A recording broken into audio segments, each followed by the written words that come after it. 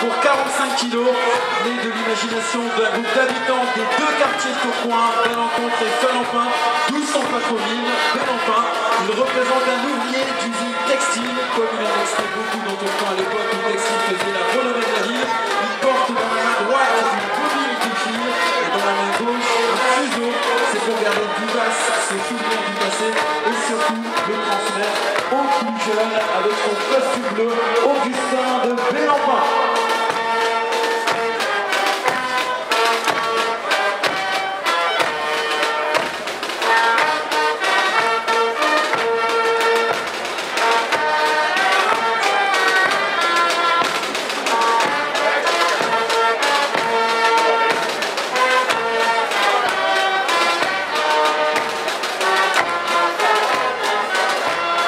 Et les gens qui sont en train de danser là juste euh, devant le public face aux marches de l'entrée de la mairie, le géant Tyran l'Ancien, il vient de Halte en Belgique, c'est le géant des archers. Vous le voyez euh, avec son costume vert et les couleurs de la Belgique sur son casque. Et il est accompagné du géant Zante, il vient de la ville de Maps, de Rinette, de Pelette et de Pelo.